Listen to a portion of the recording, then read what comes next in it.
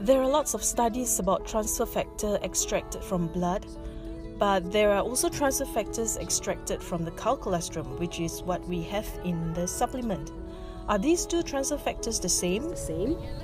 That's a great question, uh, and it's one as we've started to learn more and more about transfer factor and study the mechanism of action.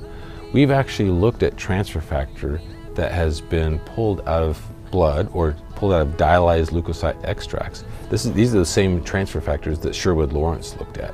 And we ran these in the same assays that we were running our transfer factor that's derived out of colostrum. And it turns out that we get the same sort of response in all of our assays. So we have a natural killer cell assay uh, that we measure an immune response. And when we look at Sherwood Lawrence's transfer factor, which are derived out of uh, dialyzed leukocytes, and we look at transfer factor that's derived out of cow colostrum, we see the same response. And so that really tells us that the immune response, whether it's coming from transfer factors out of blood or the immune response coming out of transfer factors out of uh, colostrum or even egg, is the same.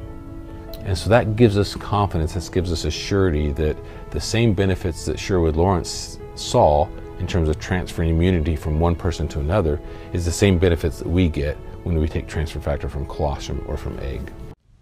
And transfer factors that is injected into human beings and transfer factors that are consumed orally, the results are the same? They can be. Uh, it's a different delivery uh, mechanism, and so the, the prevailing thought in terms of transfer factor that is being uh, orally consumed is that we have uh, in our in our gut, we in our digestive tract, we have these things called Peyer's patches, and Peyer's patches are these ways for transfer factor to get brought from the stomach into the bloodstream. And once they're into the bloodstream, now they're acting as if transfer factors were being injected into our into our blood.